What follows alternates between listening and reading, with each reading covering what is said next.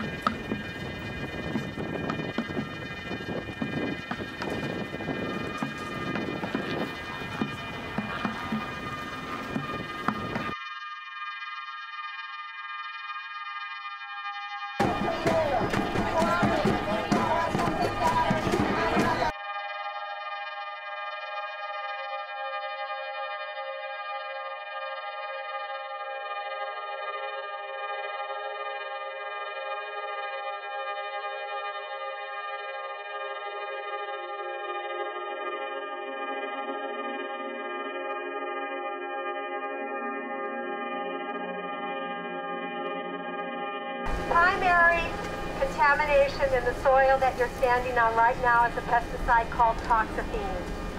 EPA knows how to clean it up.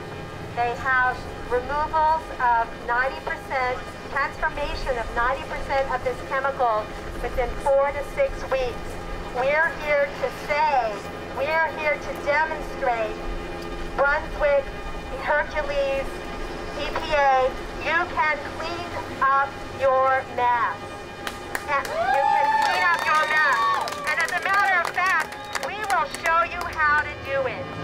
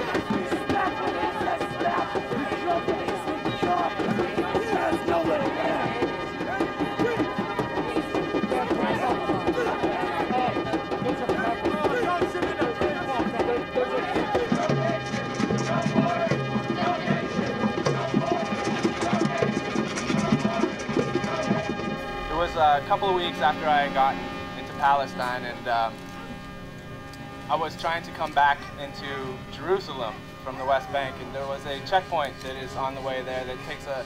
Sometimes they close it, and it takes a long time to get through. So uh, they closed it, and it was it was before it got dark, so the sun was still out, so it's still pretty warm. And uh, people come along, they talk to you, try to tell you about what the situation is. It's always look, look at what the soldiers do to us, and. Um, that night it took us four hours to get through that checkpoint. Um, and it, it was just the fact that standing there next to these people and having somebody tell me that it took them the other day eight hours to get through, that the week before it took them four hours to get through, and they have to make this trip every day if they would like to work.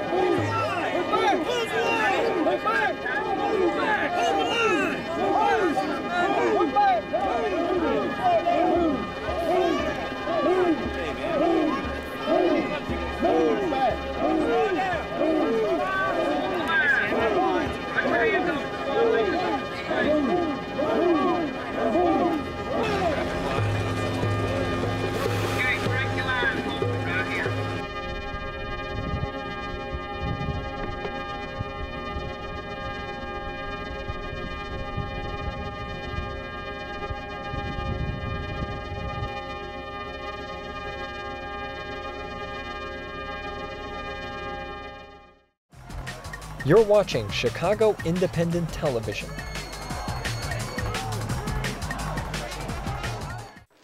Kids across America are digging deep. President Bush's tax cuts mean big tax breaks for millionaires and billionaires. Paying for them won't be easy, but these kids are ready to do their part. In 2003 alone, George Bush put every child in America $7,400 into debt. To these children, we have one thing to say. Thanks, kids. Easily paid for by Billionaires for Bush. Welcome back to Chicago Independent Television. Critical mass rides allow us to envision a day when bikes outnumber cars on city streets. Here are some scenes from a recent critical mass event in Chicago.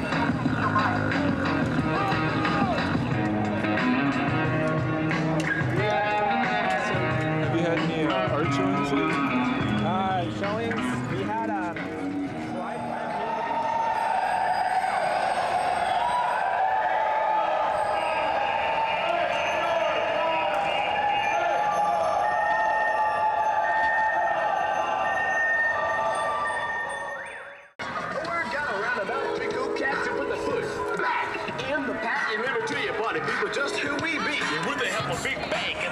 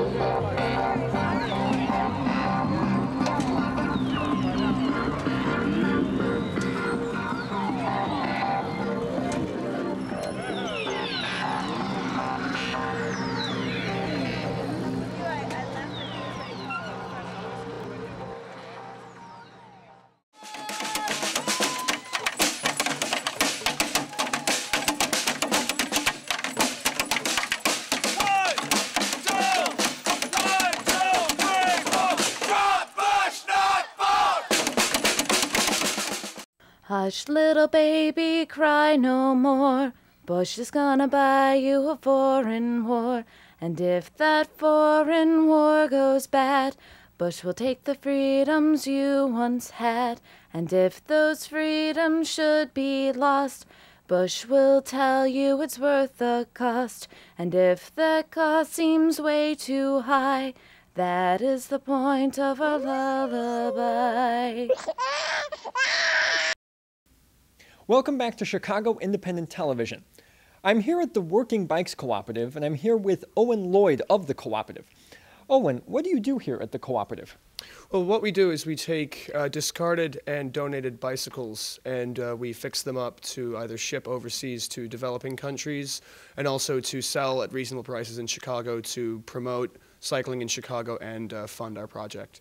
Can anyone in Chicago just come to the Working Bikes Cooperative to buy a bike?